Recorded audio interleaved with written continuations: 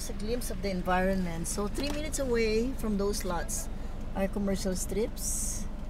Uh, and the rest of the buildings along Gil Puyat Avenue.